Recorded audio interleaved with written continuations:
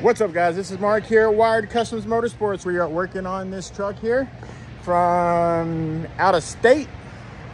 So here's what's going on. He's got huge old school amplifiers. Let me let you look.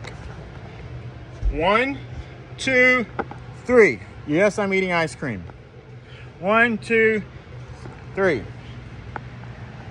They're huge, right? We are needing to place them appropriately. Problem is how long that they are. I could either just stick them in like almost every store would do, especially because it's not our stuff. The majority of the stores, almost all of them, 99 out of 100 will just stick them in and they would locate a place, maybe stack them maybe, uh, but the average place is gonna screw it in wherever they can. Screw it to the rear wall, which I could have easily put two in front and screwed one to the rear wall. Easily, that there would be nothing wrong with me going about it in that manner, right?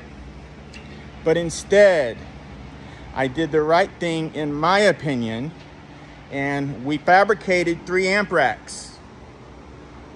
Three amp racks for display purposes. I can have them at a 45 angle, a 45 degree angle, and display them properly.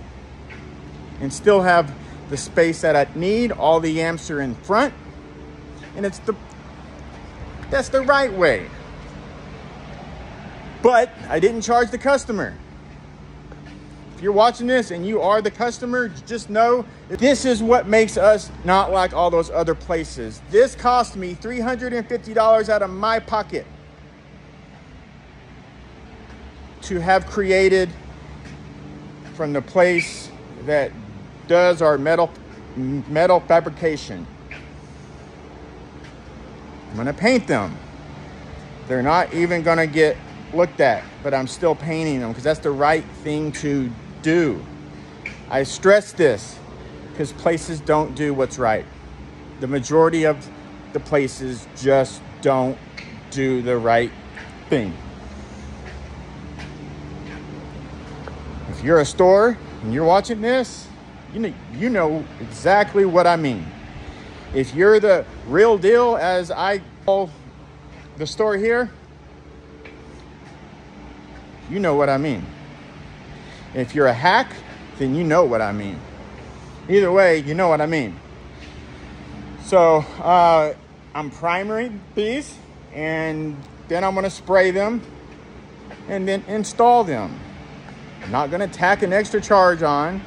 I could easily call him and say, hey, how about this? He spent enough money He spent enough money. He came from far away.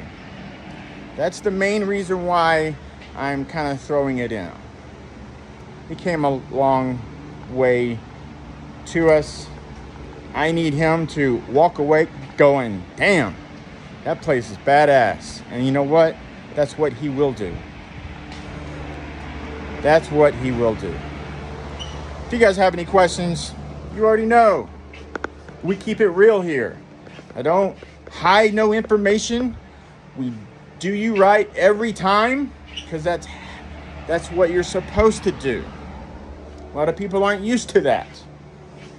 A lot of people aren't used to that. So they have it in their head that they have to like act a specific way to get what they want. You don't have to do that. Be real here. You don't have to act a specific way.